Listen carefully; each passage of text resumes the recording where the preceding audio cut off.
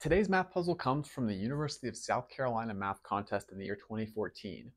And it says, suppose that a, b, and c are all positive integers, where c is greater than b, which is greater than a. And notice those are all strictly greater than there, which means these variables can't be equal to each other. And that 1 over a plus 1 over b plus 1 over c is equal to 1.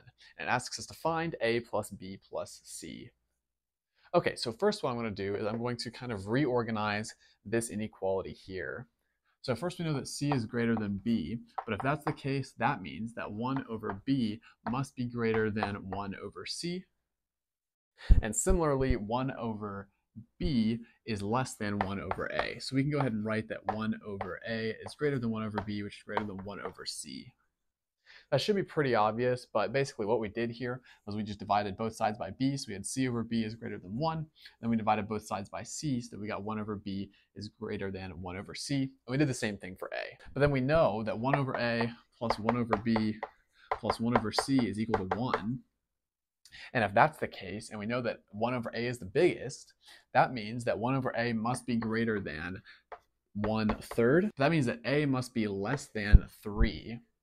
That's by multiplying both sides by 3 and multiplying both sides by a.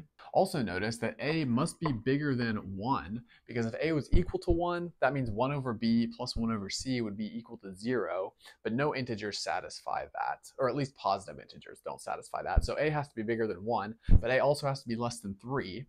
And the only positive integer that satisfies both of those inequalities is 2. So we know that a is equal to 2.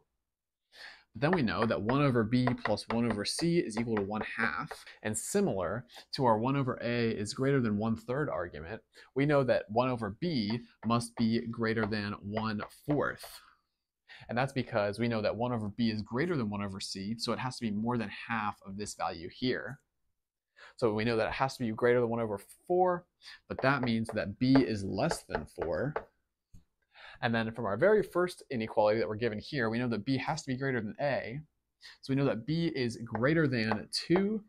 And the only positive integer that satisfies both of these tells us that b is equal to 3. Okay, we're almost done now. We know that 1 half plus 1 third plus 1 over c is equal to 1. But 1 half plus 1 over third is 5 sixths. And then that gives us that 1 over c is equal to 1 sixth, or that c is equal to 6. So from there, we can add up all of these, and we get that a plus b plus c is equal to 2 plus 3 plus 6, and that is 11. And that's our final answer, I think that's enough for now.